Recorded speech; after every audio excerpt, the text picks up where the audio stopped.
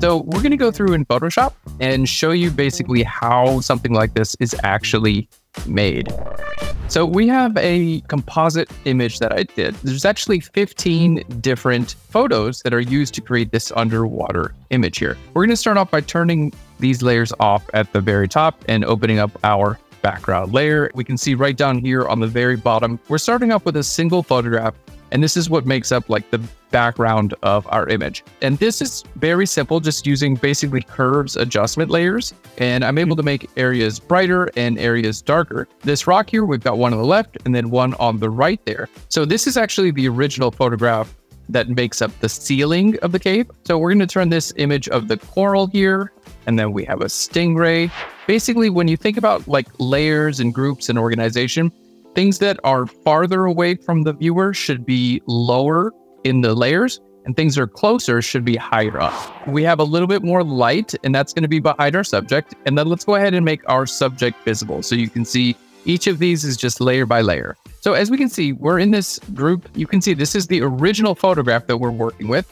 And then all of these different layers that are clipped to that subject. And we can see this is the color of the original photograph. And I'm going to hold shift and disable that layer mask. So we can see within this composite is the original photo. So these layers just stack on top of the original photograph. Next, we have our midground. We'll go ahead and turn that on.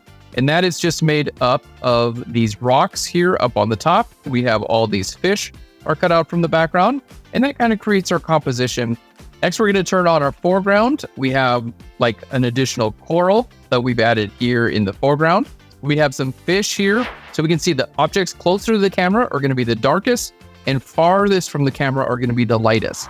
So we're going to go ahead and work through like one of these examples. So I want to take this image here. We're going to take this and actually place it into our scene. We're going to start with our move tool up here on the top left, and we're going to click and drag from one image to another. So let's go ahead and bring it to the very top to start with first thing I want to do is basically start to cut out this coral from the background. We're going to use the magic wand tool right over here and click right here and it's going to select similar colors. I'm going to hold shift and click a couple more times. And this is just going to help add to my selection. What we're doing is actually selecting the opposite of each individual fish. I'm selecting the background and then I can invert my selection very easily.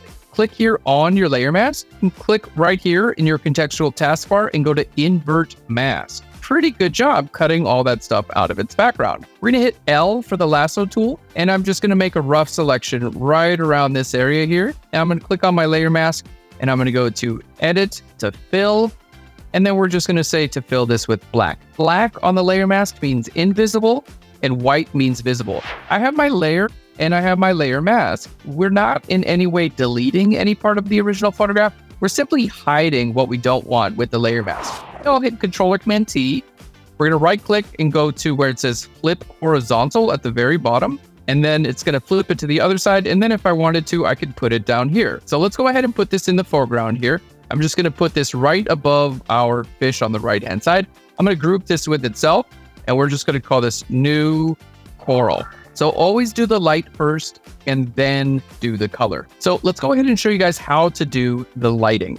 So we're going to go to layer down to new adjustment layer here, and we're going to go to levels. And we're going to go ahead and check that. That's going to make sure that this levels adjustment layer is only going to affect the layer underneath it. It's going to be very easy for me to match. Look, I can just bring this a little bit darker. There we go. Kind of push my midtones up a little bit and bring the lights a little bit darker. So if I unclip it, you can see it affects my entire image. But as soon as I clip this again, it's just going to be that area of the photograph. So let's go to layer, down to new adjustment layer, and we're going to go over to where it says color balance. I want to make sure that's checked because we want to create a clipping mask there. So we'll hit OK, and it has this little down arrow letting us know it's clipped.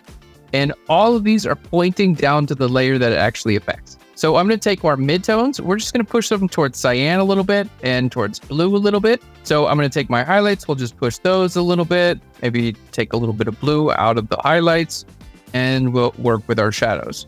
We have a layer mask a levels adjustment layer, and a color balance adjustment layer. And that is all you need to get your images to blend together so you can create fantastic composites just like this. Thank you so much for joining us, guys. Hi, everyone.